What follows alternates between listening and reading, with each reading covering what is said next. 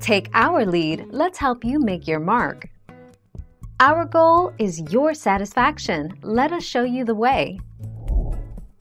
3 Ohio State enters the college football playoff with a 6-0 record.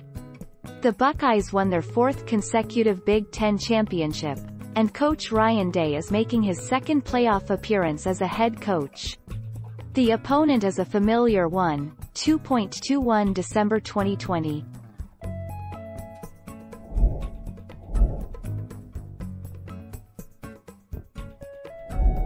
Make your mark, take our lead. Three-seed Ohio State Buckeyes, 7-0, will face off on Monday, January 11th, inside Hard Rock Stadium. Led by Heisman finalist Justin Fields, the Buckeyes exploded against number 2 Clemson en route to a 49-28 victory in the Allstate Sugar Bowl. 2 January 2021.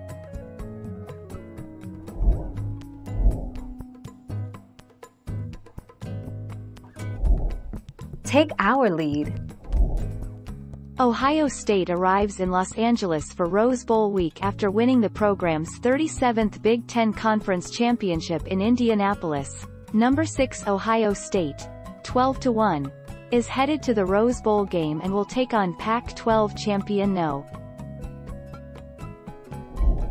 Thank you for watching. Please subscribe and hit the bell notification.